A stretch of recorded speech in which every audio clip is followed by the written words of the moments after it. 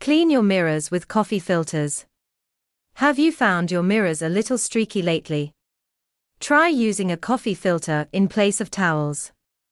Coffee filters are lint free, so they'll leave windows sparkling without any residue. They're also inexpensive and can be purchased in bulk.